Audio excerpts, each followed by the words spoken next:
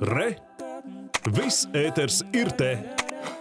Tieši pašlaik, kad tiek veidota zinātnē un medicīnai svarīga infrastruktūra Eiropas Savienības līmenī, radušies draudi Latvijas zinātnieku dalībai vērienīgajā projektā Digitālā Eiropa. Dalība projektā palīdzētu nevien zinātniekiem, bet arī ārstiem sekmīgāk ārstēt dažādas slimības, to skait vēzi. Taču iespējams finansējuma piešķiršanas sistēmas nepilnība dēļ Latvijas dalība projektā ir apdraudēta. Plašāk stāsta Zandozo valoda. Vērienīga projekta ietvaros tieši pašlaik tiek veidota infrastruktūra, kas visas Eiropas zinātniekiem un mediķiem ļaus piekļūt vienotai Eiropas iedzīvotāju genoma datubāzei. Viens no piemēriem vajadzībai pētīt cilvēka genomu ir iespēja sekmīgāk ārstēt dažādas slimības, pat novērst tās pirms vēl cilvēks saslimis. Ja tagad ir šī, šī, šī informācija no visa genoma, mēs pieņemsim, varam aprēķināt, ar kuru slimību jums vislielākā iespēja saslimt pēc desmit gadiem. Vēža gadījumā, pieņemsim, ja tiek sekvenēti vēža audi, tad var atrast arī to, to kādas, kādi medikamenti konkrētajam pacientam tad labāk strādās. Tātad tas pielietojums ir, protams, ļoti, ļoti plašs. Datubāzē anonīmā veidā nonāks tikai to iedzīvotāju asins paraugi, kas paši brīvprātīgi pieteiksies. Šādā kastītē atrodas 96 cilvēku ģenētiskais materiāls. Katrā no tiem mazajiem stobriņiem, kas šeit ir redzami, tad arī tāds atrodas.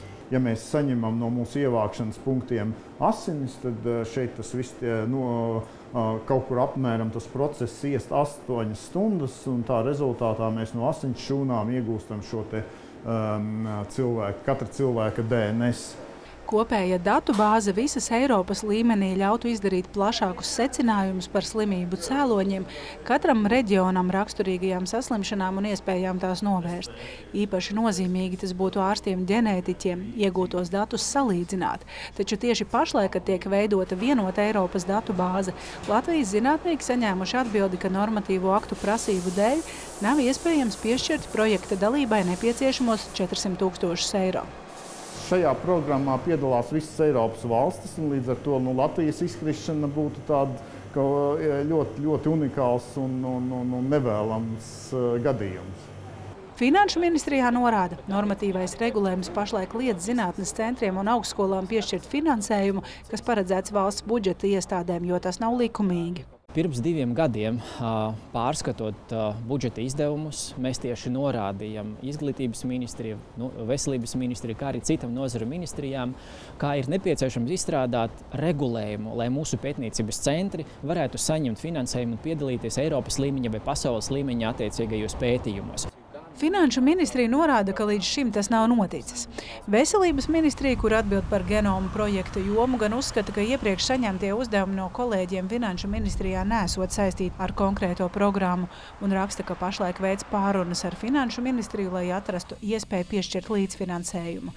Tikmēr visa lielā digitālās Eiropas koordinējošā iestāde ir vēl cita ministrija – vides aizsardzības un reģionālās attīstības ministrija. Tā norāda, ka jautājums par valsts budžeta līdzfinansējumu finansējumu piešķiršanu genomu projektam ir jāvirza izskatīšanai ministru kabinetā. Lai gan visu iesaistīto ministriju pārstāvi norāda, ka saprot projekta nozīmību un strādā, lai atrastu risinājumu, nav atbildes uz jautājumu, vai visu šo procedūru pagūs pagūt izdarīt divu nedēļu laikā, kad beidzas termiņš līguma parakstīšanai. Zandozo Balūdi un Ingus Graudiņš, Latvijas televīzija.